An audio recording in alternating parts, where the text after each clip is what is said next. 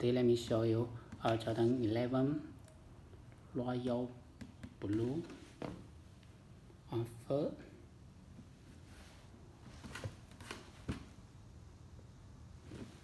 Okay, yeah, hold up, made out of royal. Material. Here, the toe is the pendant leather, and then the back tab. Royal blue regular leather with white. Jumpman logo on the back with toothless screen print on the back. Okay, here's the, the time level in the third place. And very thick. Thickness shoes lace. Okay, the back view. Yes.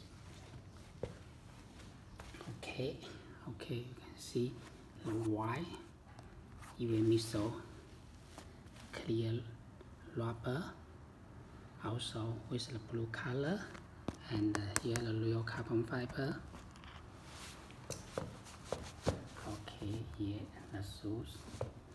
Yeah, look really, really nice. Okay, let's the shoes box.